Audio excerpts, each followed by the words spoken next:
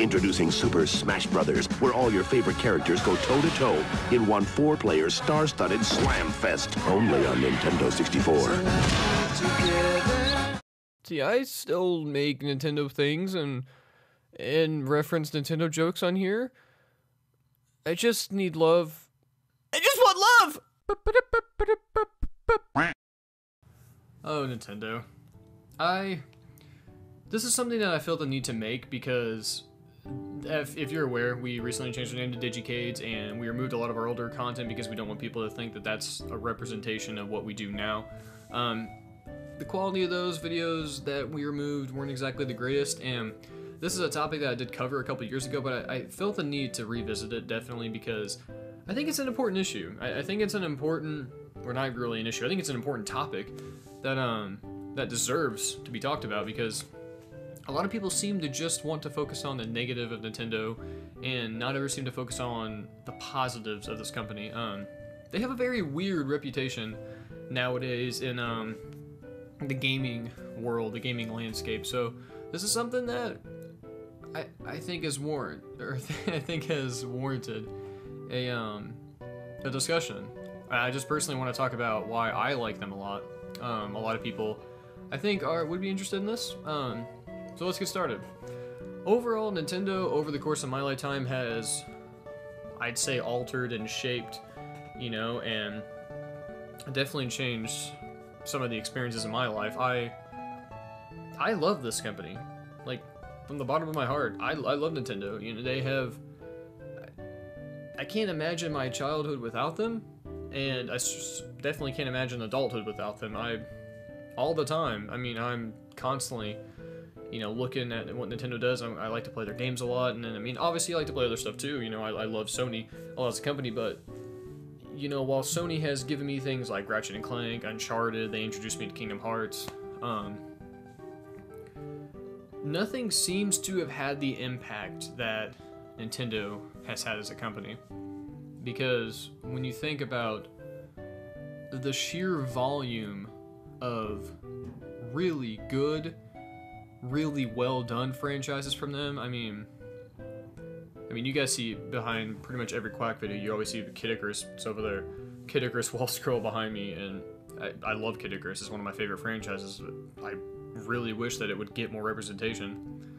Um, Mario, Zelda, Pokemon. I mean, the, the big three right there, the big three that have severely changed people's lives, and I, that sounds negative. I don't want the negative connotation of that. Drastically changed people's lives and introduced them to new ways to go on adventures and have these cool, you know, experiences with friends.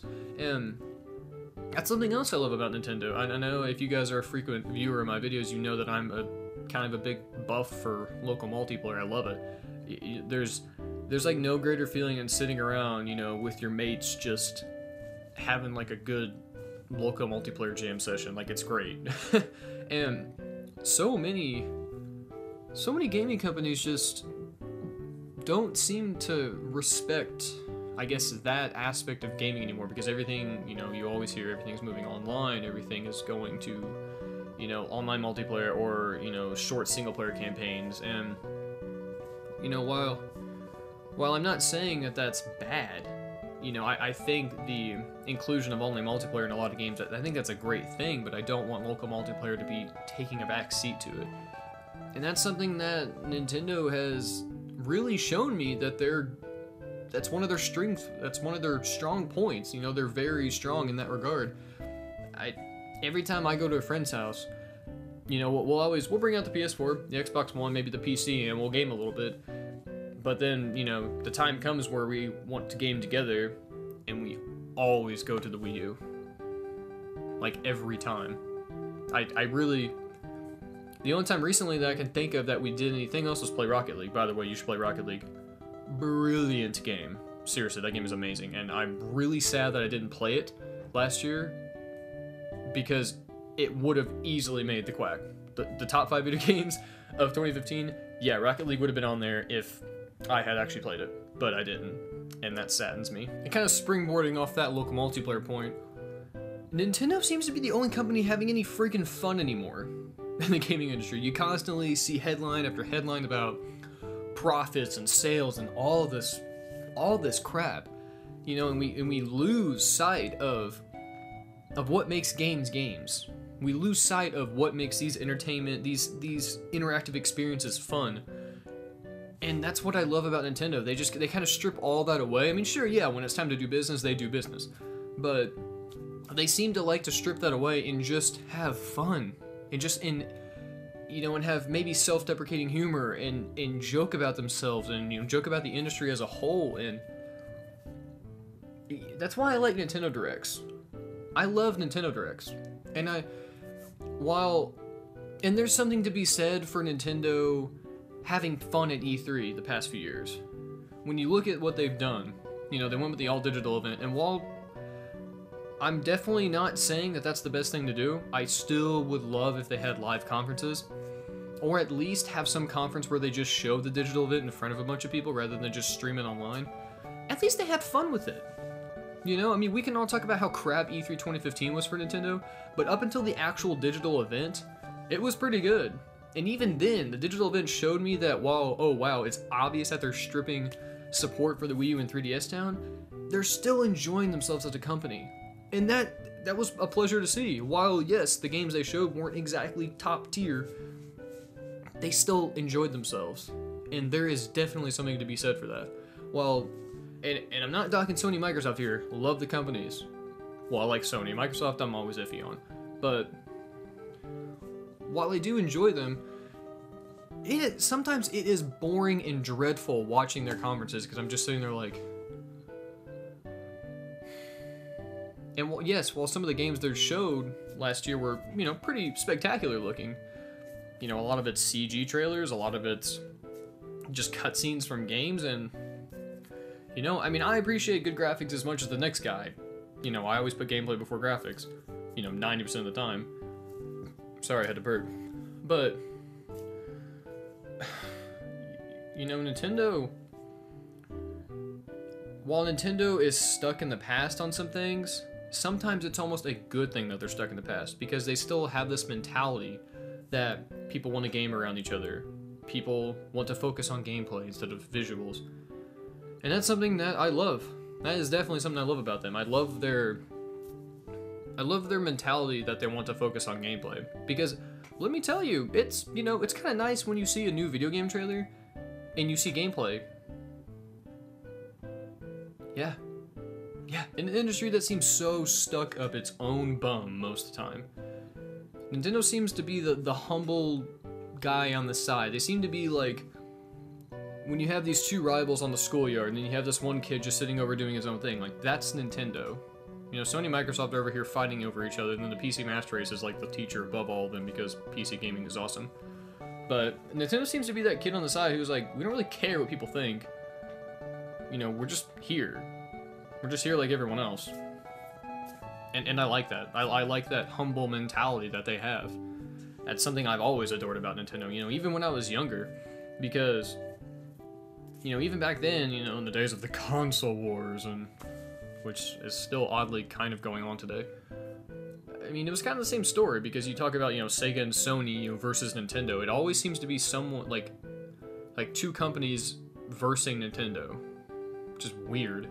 I, it's just weird, but it it was kind of the same thing because you know we all talk crap about how they have you know like a third party support and how a lot of their games are you know catered more towards family friendly stuff. They just seem to want to be a part of the gaming space and they seem to be I'd say one of the five companies doing it right. You know, I'd say companies like Rockstar, Valve, you know, obviously Nintendo. It, and that's sad because I can't. I'm trying to think of two other companies that I, I that like I love that I think are doing games right. Insomniac Games, they're doing a good job too. And then Naughty Dog. There we go, Naughty Dog. That's the last one. I'd say those are probably like my five favorite gaming companies. I want to say Square Enix really badly, but I don't because they've had some really crap business practices in the past few years. But they still make amazing games, but still. Oh my god. I love Nintendo. You know, Nintendo has has such an, a strong impact on my childhood. I mean, they they show me what it's like to travel in space, to go on adventures, you know, to have really great experiences with my friends, to never truly worry about life's problems too much. You know, they they taught me a lot of things growing up. And and I, you know, I love them for that. While I don't, you know, I've said before, I don't really think that I owe them anything, but know, I can't I can't deny that they had a really huge impact on my childhood and they they really they provided a good escape for me because you know we've all all experienced those times where you come home and you are just severely agitated you are angry mad sad upset whatever and you just want to sit down and curl up with a good video game and play it. I cannot tell you how many times i have done that with nintendo games actually real quick i'm gonna end the video after this i had a i'm not gonna get too heavy into this i had a family member a few years back who passed away, and the only game that I immediately thought of that I wanted to play and just kind of escape into was Super Mario Galaxy 2. If you've been subscribed to me for a while, you know that there's one game that I have 100% complete in one run, like in one gaming session, and that was that game. I played it for two days straight I, I was like so torn and hurt and sad that I just I like fully escaped into that game. And I 100% complete Mario Galaxy 2. Yeah. Yeah. it's just they Nintendo are so are like masters at crafting these really intricate gaming experiences. I think they are complete geniuses when it comes to level design and game design. I love the fact that all their games are polished and finished when they come out. Granted, some, the one we talked about last week, maybe every now and then there's one that's like light on content, but overall, you know, I'd say 90% of Nintendo games are like completely finished and wonderful experiences when they come out. Are they all for me? No. But there is definitely an audience out there for Nintendo games and I I'm just I'm grateful. I'm grateful that this company exists when I exist. That's that's it. That was a good last line. We'll send on that. All right, guys. I'll see you later.